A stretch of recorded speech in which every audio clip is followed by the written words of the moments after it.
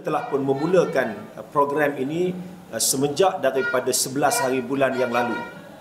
Uh, semenjak daripada 11 hari bulan yang lalu di mana kita telah bertemu dalam tempoh sebulan perancangan kerana kita melihat gelombang ini semakin slow ataupun semakin berkurangan.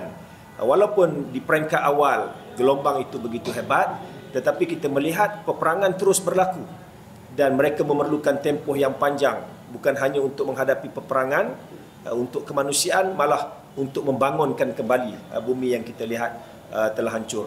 Jadi sebenarnya kami sahabat-sahabat yang terlibat dalam NGO khasnya Semarak sendiri yang telah banyak kita libatkan diri dengan kemanusiaan dan dakwah ini melihat bahawa perlu kita menyemarakkan kembali.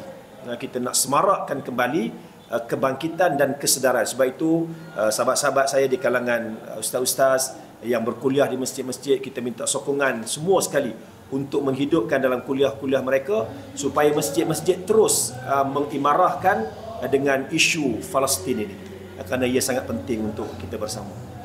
Ya, sebelum ni kami dua minggu kami turun di Padang Polo khasnya untuk bukan kerana kita pilih Padang Polo ni sebab Padang Polo ni adalah kawasan yang juga uh, bukan orang Islam ramai.